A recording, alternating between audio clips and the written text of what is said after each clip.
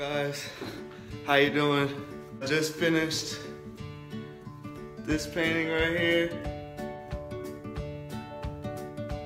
I think I'm gonna Uber painting over to the client. He's at Brass. I'll take a ride over there and uh, thanks for tuning in. What up guys? We're at Brass right here. A collector right here.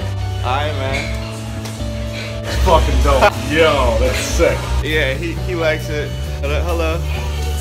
They were in Brass right now. Yo, that's fucking sick. Yeah, yeah. Yo, what's good, guys?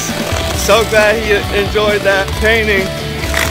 Shit. I'm out here in one of my favorite places right now, the Memorial Art Gallery. So right now I'm going to having a meeting with someone that I'm talking to about uh, some photography. Eli Flynn, musician of Three Heads. Check his music out. Look at the look at the moon.